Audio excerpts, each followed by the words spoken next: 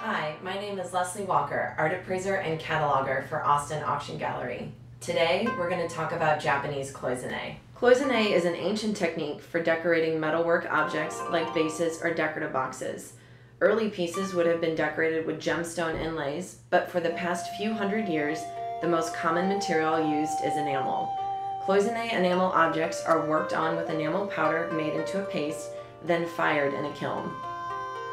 Companies such as the Ando Cloisonne Company and the Kodenji Studio produced intricate designs that catered to the subtle and simplistic taste of Japanese consumers. Large cities like Edo, now Tokyo, and Kyoto were home to cloisonne makers. In particular, Kyoto's Namikawa Yasukui became one of the leading companies of Japanese cloisonne.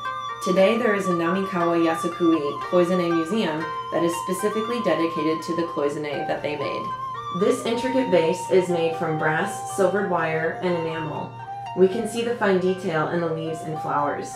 Like Namikawa Yasukui, a signature design aesthetic of Japanese cloisonne is a deep, rich black ground with vibrant colors. This vase is unsigned, but we could speculate the studio who produced it would have been in Edo or Kyoto. An interesting aspect of this vase is that the artist chose to depict not just a beautiful blooming flower, but also included decaying leaves near the base.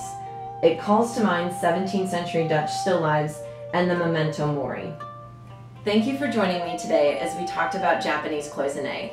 This vase, lot 762, will be offered this weekend, July 16th and 17th, in our upcoming auction.